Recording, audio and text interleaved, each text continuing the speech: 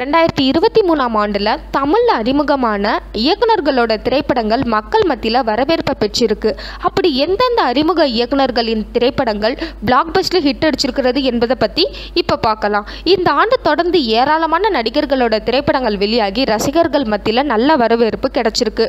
Corona பிரச்சனையால் சினிமாவில் மட்டும் இல்லாமல் உலகத்தில் இருக்கிற அனைத்து தொழிலாளர்களும் அவதிப்பட்டு வந்தாங்க. அனைத்து பிரச்சனைகளும் சரியாகி இந்த ஆண்டு தான் மிகவும் சிறப்பாக அமைஞ்சது சொல்லப்படுது. அப்படி சினிமாவில் இந்த ஆண்டு புதுமுக இயக்குனர்களோட படங்கள் வெற்றி பெற்று நம்பிக்கை கொடுத்துருக்கு.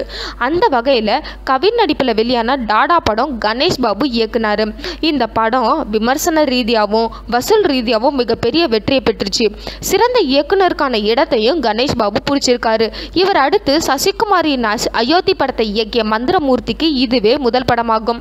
அடுத்ததா மிக குறைவான பட்ஜெட்டில் உருவாகி பிளாக் பஸ்ட் ஹிட் அடித்த திரைப்படம் தான் குட் நைட் இந்த படத்தை விநாயக் சந்திரசேகரன் இயக்கினார். அடுத்ததாக அசோக் செல்வன் நடித்து வெளியான திரைப்படம் தான் போர் தொழில். இந்த படத்தை சைக்காலஜிக்கல் த்ரில்லர் படமாக விக்னேஷ் ராஜா என்பவர் இயக்கினார். இவ்வாறு ரெண்டாயிரத்தி இருபத்தி மூணாம் ஆண்டு புதுமுக இயக்குனர்களுக்கு நம்பிக்கை தரும் வகையில் அமைஞ்சிருக்கிறது மகிழ்ச்சியை கொடுக்குது.